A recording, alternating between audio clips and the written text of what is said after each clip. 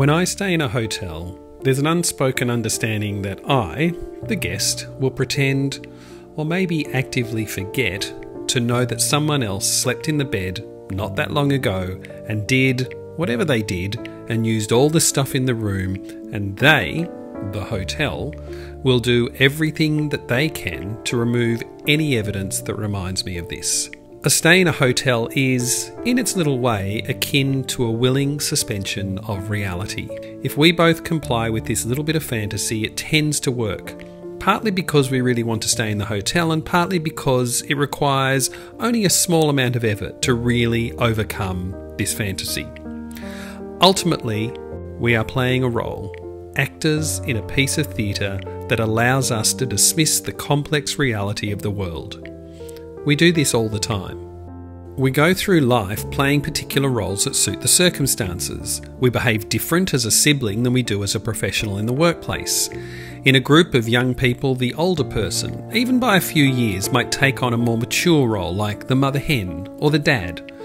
A more scientific way to look at this is that we process the information that helps us to understand our little piece of existence or this particular reality and ignore the information, whether consciously or unconsciously, that doesn't work for us at that point in time. So it's no wonder that people who are worried about their current state look for simple solutions to complex problems. When somebody leaves a wonderful narrative that appeals to the target market and provides a solution that fits in with their desired reality, it usually seems plausible. If it ends up on a current affair, GMA, or panorama, then it must be true, mustn't it? Throw in some jargon or words that sound complex, or maybe some stats or charts, and it makes us trust the speaker even more because it gives us a potential happy ending. Because, um, science? As any psychologist or sociologist will tell you, a story or a narrative is so much more powerful than complex facts and information. We don't want to hear that the world is complex, messy, uncaring, or random, and we certainly don't want to admit to ourselves that we are not in control of our destiny. To come to terms with that requires effort to process it. We also struggle when experts talk in probabilities, not in definitive outcomes.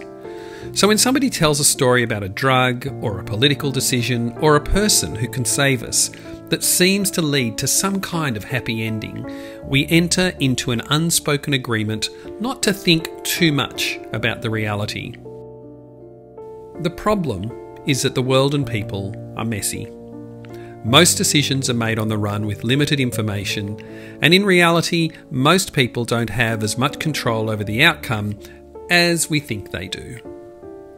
To live an honest life, we need to be much more willing to accept uncertainty and doubt.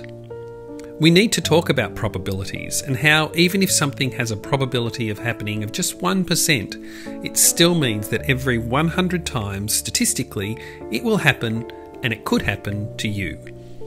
When somebody presents something as definitive and right and the only way to do something, we have to be skeptical, to feel comfortable questioning that, but we also need to take some responsibility in looking for alternative explanations rather than just complaining or looking to others to fix it. We need to remind ourselves that science, politics, business, medicine, life is complex and provisional, that it can be positive, but it can also be horrible.